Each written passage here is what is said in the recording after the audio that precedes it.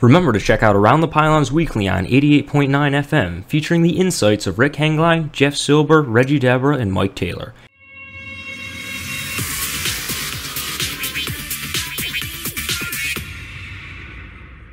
Hello, everybody, and welcome to ATP Extra. I'm your host, Mike Taylor, and today I am a little bit fired up over the release of Bills running back Fred Jackson.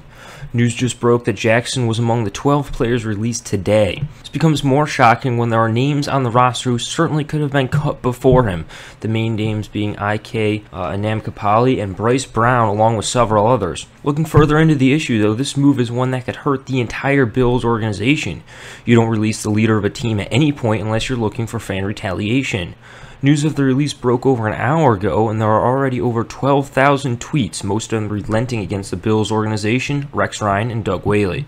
Already, the situation is beginning to feel similar to when Rex Ryan was with the Jets, with fans turning against the coach and the organization. This issue will be compounded because it is without a doubt not a popular locker room choice, as Jackson is the leader of the team both on and off the field. The first game will be played at Ralph Wilson Stadium, and you can bet that there will be plenty of signs lamenting the Bills for the release of Fred Jackson. With ATP Extra, I'm Mike Taylor.